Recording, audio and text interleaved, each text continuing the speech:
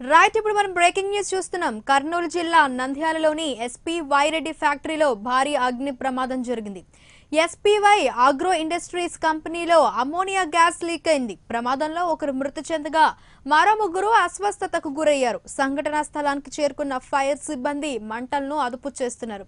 Gas లీకేజీతో ప్రజలు ఆందోళన చెందుతున్నారు.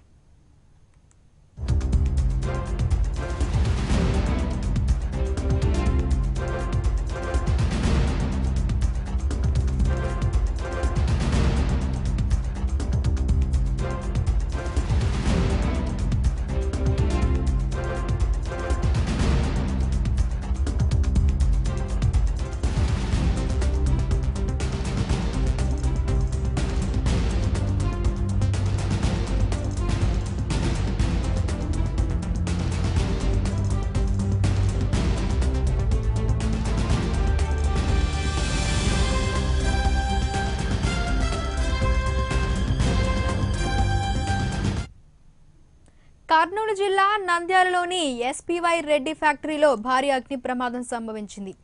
ఎస్పీవై ఆగ్రో ఇండస్ట్రీస్ కంపెనీలో అమ్మోనియా గ్యాస్ లీక్ అయింది. ప్రమాదంలో ఒకరు మృతి చెందగా మరో ముగ్గురు అస్వస్థతకు గురయ్యారు.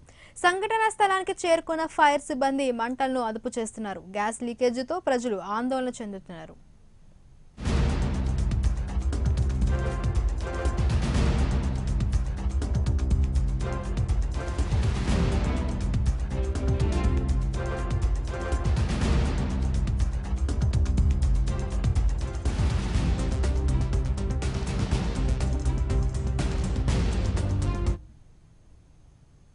ఇక దీనిపై మరింత సమాచారం మా కరెస్పాండెంట్ మల్లికార్జున్ అందిస్తారు. చెప్పండి మల్లికార్జున్ అసలు ఏం జరిగింది? కర్నూలు జిల్లా నంద్యాలలో ఉన్నటువంటి ఎస్పీ వైరెడ్డి ఆగ్రో ఫ్యాక్టరీలో కూడా గ్యాస్ లీక్ అయిందని మనం చెప్పుకోవచ్చు. అమ్మోనియం గ్యాస్ దాదాపు రెండు టన్నుల ట్యాంక్ నుంచి కూడా ఈ గ్యాస్ లీకేజ్ కావడం చేత లోపల ఉన్నటువంటి యాభై సంవత్సరాల వ్యక్తి ఎవరైతే ఉన్నారో అతను ఈ గ్యాస్ నుంచి బయటపడలేక మృతి చెందినటువంటి పరిస్థితి మనం చూస్తున్నాం. మరో ముగ్గురు పరిస్థితి అయితే చాలా విషమంగా ఉంది. వీరిని ప్రభుత్వ స్థానికంగా ఉన్నటువంటి ప్రభుత్వ ఆసుపత్రికి అయితే ప్రస్తుతం తరలించి అక్కడ వైద్యం అయితే అందిస్తున్నారని మనం చెప్పుకోవచ్చు. దాదాపుగా అంటే ఉదయం ఉదయం రెండు టన్నుల ట్యాంక్ ఏదైతే ఉంటుందో ఆ ట్యాంక్ నుంచి కూడా ముఖ్యంగా మొదట చిన్నగా గ్యాస్ లీకేజ్ లీకేజ్ అయిందని చెప్తున్నారు. క్రమంగా ఆ లీకేజ్ యొక్క పరిమితి కూడా పెరిగిందంటున్నారు. ఈ నేపథ్యంలో కూడా ఫ్యాక్టరీల నుంచి బయటకు వచ్చే ప్రయత్నం చేస్తున్నటువంటి వ్యక్తిని కూడా బయటికి రాలేకపోయాడని చెప్పవచ్చు. దాదాపుగా యాభై సంవత్సరాలు ఆ ఉద్యోగి అని చెప్పవచ్చు. ఈ నేపథ్యంలో బయటికి రాలేకనే లోపల ఈ గ్యాస్ ఎక్కువ లీక్ అమోనియం గ్యాస్ లీక్ కావడం చేత కూడా పూర్తి స్థాయిలో అతను మృతి చెందడం జరిగింది. బయట కొంతమంది కూలుకొని బయటికి వచ్చారు పరుగులు పెట్టారని చెప్పవచ్చు మరి కొంతమంది ఉద్యోగులు. ఈ నేపథ్యంలో ముగ్గురు శ్వాస తీసుకోవడానికి ఇబ్బందికరంగా మారిన కూడా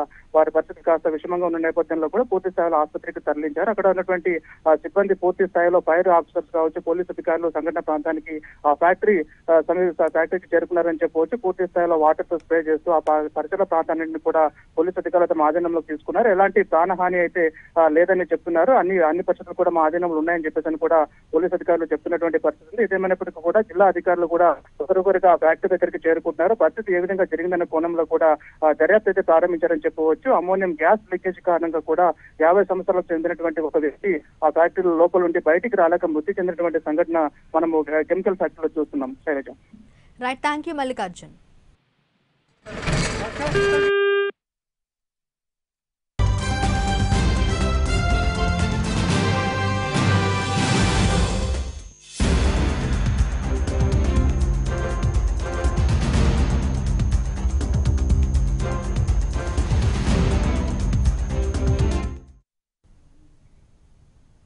ఇక